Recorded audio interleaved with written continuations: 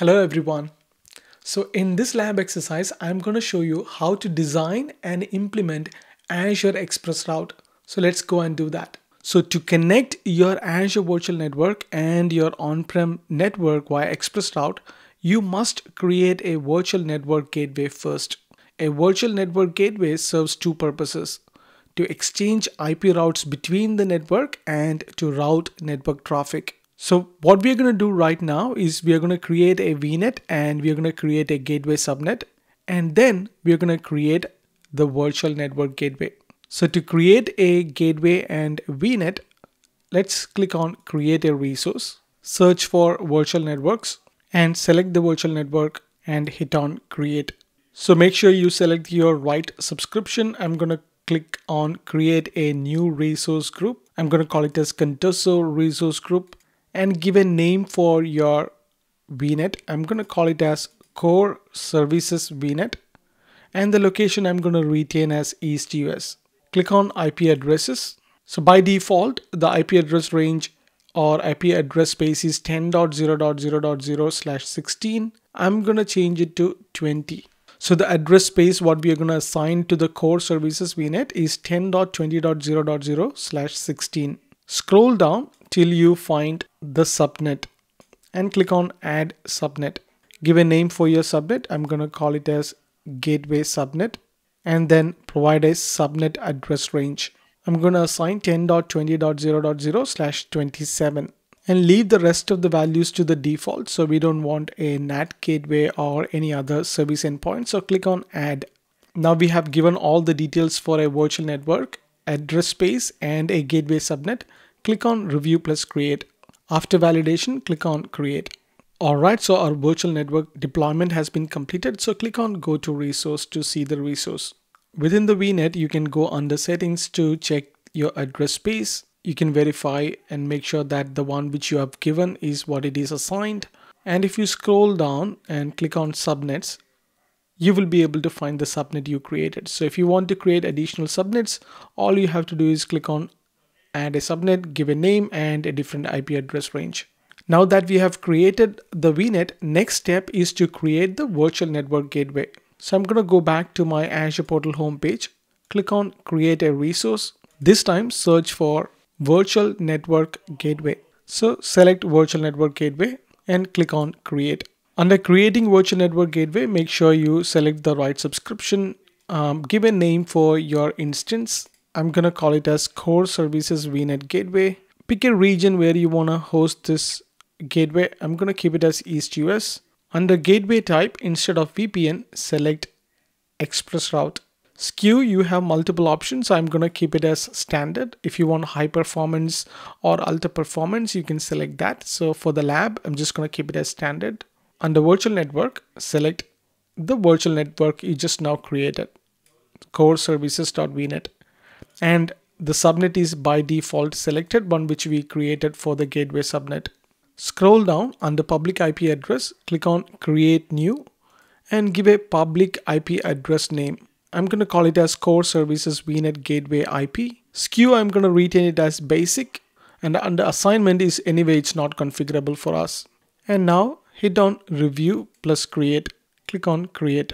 So this step is gonna take at least 45 minutes to complete. So I'm gonna pause the video. We will come back later after completing this step. The next step after this we are gonna do is we're gonna provision an express route circuit. So I will see you in a bit. All right, so after 50 minutes, it completed creating the virtual network gateway. So click on go to resource to see the virtual network gateway we have created the virtual network gateway. We don't have any connections uh, or configuration yet. We'll come back to this later. Now in this exercise, we are going to create an express route circuit using the Azure portal. So first let's go ahead and create and provision an express route circuit.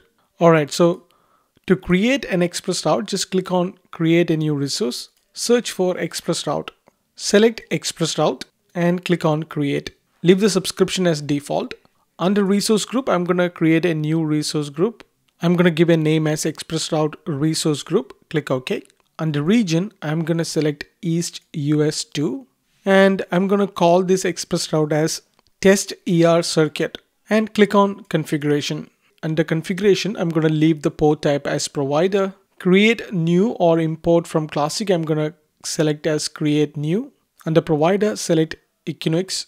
I'm going to select the peering location as Seattle. Bandwidth, I'm going to pick 50 Mbps. Under SKU type, for this lab, I'm going to pick premium. Under billing model, metered or unlimited, I'm going to pick unlimited. Allow classic operations, you can keep it no. And hit on review and create. So right now it is doing a validation. After the validation passed successfully, you will be able to create this resource. Click on create. While that is creating, so I just want to explain a few things to you. So under port type, this determines if you are connecting to a service provider or directly into Microsoft Global Network at a peering location. Creating new or import from Classic, this determines if a new circuit is being created or if you are migrating a Classic circuit to Azure Resource Manager. Provider is the internet service provider who you will be requesting your service from. The peering location indicates the physical location where you are peering with the Microsoft. This is not linked to the location property, which refers to the geography where the Azure Network Resource Provider is located. While they are not related, it is a good practice to choose a network resource provider geographically close to the peering location of the circuit. SKU determines whether an ExpressRoute local, ExpressRoute standard, or an ExpressRoute premium add-on is enabled. You can specify local to get the local SKU, standard to get the standard SKU or premium for the premium add-on. You can change the SKU to enable the premium add-on later. Please note that you cannot change the SKU from standard to premium to local. Billing model determines the billing type you can specify, which is metered or a metered data plan and unlimited for an unlimited data plan. You can change the billing type from metered to unlimited anytime. But you cannot change the type from unlimited to metered. And allow classic operations means that you will allow classic virtual network to be linked to the circuit. Alright, so now our ExpressRoute circuit is being deployed. So let's click on go to resource and we have our test ER circuit is created. Now let's go and retrieve our service key. So let's go back to the home page, select the ExpressRoute circuit we just created, test ER circuit, and under the overview tab, this is where you will be able to find the service key. And your service provider will need the service key to complete the provisioning process. The service key is specific to your circuit. So you must send the service key to your connectivity provider for provisioning. And on this page, you can check the provider status as well. As you can see that the provider state is not provisioned because we have not provisioned it yet. And the circuit status is enabled. Circuit status provides you the state on the Microsoft side.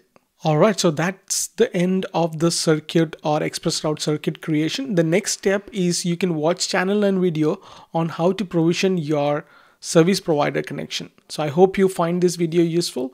I will see you in the next one. Until then, take care.